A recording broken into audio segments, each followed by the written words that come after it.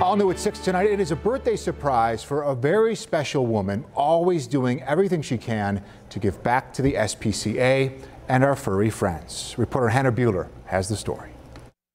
There's no doubt Mary Alloy of Amherst loves animals, and it's no secret she's a beloved member of the animal shelter and rescue community. We just truly love you, and you mean so much to all of us. So on her birthday, on the 7th of July, the SPCA of Erie County offered a special birthday surprise. A true friend of the SPCA, you have uh, kennel number B number 7. Today's your birthday, the 7th, and uh, Caspian's here to say hello and tell you how much he loves you too. The SPCA of Erie County dedicating kennel number 7 to Alloy.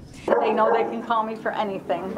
Alloy is a woman who doesn't let any animal get left behind. She's the owner of Just Pizza in Amherst, and last year we told you how she featured adoptable pets on pizza takeout boxes. Like I feel bad for all of them being here and hope they get good homes and people take care of them. Alloy was diagnosed with small cell carcinoma in December, and through it all, she never stopped raising money for adopted pets at the Niagara County SPCA. She says volunteering and helping animals is what she wants to do.